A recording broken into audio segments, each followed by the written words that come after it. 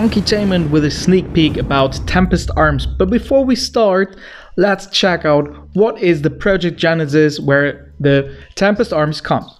So that is what we know. We know that it will be tested tomorrow or latest on Friday, and the official launch shall be on the 18th from State 1 to State 1158. But before we go into details, some strange moments where we see there is a new orange weapon, but it doesn't look like a weapon. Does it look like a weapon? I wouldn't call it a weapon, but more a protective suit.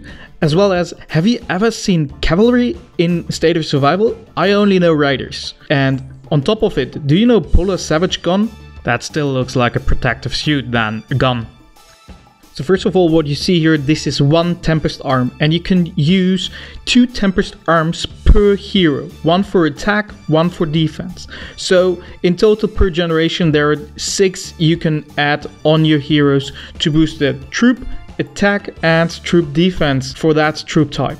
The Tempest arm itself can have three types of quality. So there's rare, there's epic, and there's legendary. That is the same that we know from heroes. Beside the rarity, you can also level it up itself like we know it from the gems.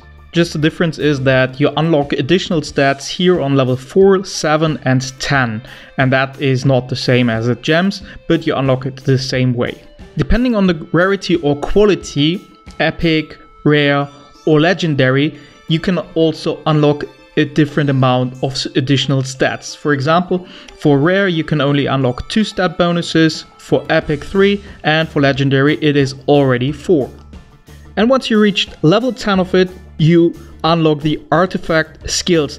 We don't know exactly what it will happen, what it will be, but be sure that as it is hero related, it is mainly for spender because joiners won't be affecting it based on what we expect to happen, but we will see more details once we can test it on PTR.